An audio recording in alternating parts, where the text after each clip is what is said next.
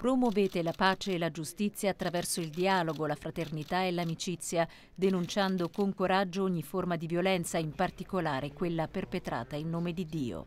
È l'invito di Papa Francesco nel messaggio consegnato ai vescovi del Kenya ricevuti in Vaticano per la loro visita ad Limina Apostolorum. Nel testo il pontefice prega per tutte le vittime del terrorismo, soprattutto per quanti hanno perso la vita nell'attentato all'Università di Garissa e invita i presuli a essere testimoni luminosi del Vangelo, soprattutto tra gli ultimi. Non abbiate paura, si legge, di essere una voce profetica, di predicare con convinzione e di difendere i poveri contro ogni forma di corruzione e abuso di potere.